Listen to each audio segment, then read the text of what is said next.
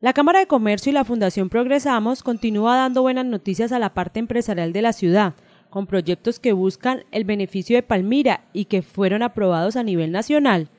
En este propósito, al igual que en la anterior experiencia, nosotros buscamos aliados.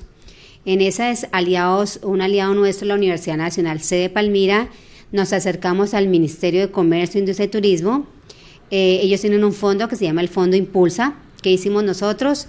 Todo un ejercicio del año pasado de diagnosticar dos redes empresariales, dos sectores productivos, que eran uno, los productores de guantes industriales y las empresas productoras de eh, empresas vinculadas al sector metalmecánico hicimos diagnósticos a nivel tecnológico, a nivel ambiental, formulamos un proyecto, se lo presentamos al Ministerio de Comercio y ese proyecto fue aprobado también.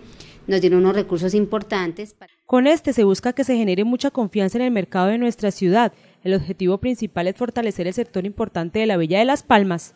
Este proyecto que pretende fortalecer nuestra industria, fortalecer el sector empresarial y que esas empresas pues tengan la capacidad para responder a las expectativas que tienen eh, que se tiene pues en el mercado nacional y posiblemente internacional. La idea de generar estos proyectos beneficia a los empleados y empleadores para llegar con más competitividad a los nuevos retos del mercado global.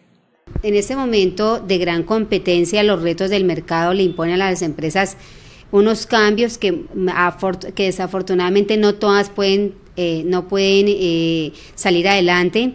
En ese sentido, la Cámara de Comercio con su fundación lo que básicamente hacemos nosotros es generar los proyectos, eh, hay recursos para ellos de cooperación nacional, nosotros ya tenemos una amplia experiencia bajando recursos, eh, ya ese es el octavo proyecto que, ejecutamos con el Ministerio, que lo que queremos es, en últimas es que mejoren, que se sostengan en el mercado y que pues obviamente generen eh, ingresos, generen empleo para la ciudad.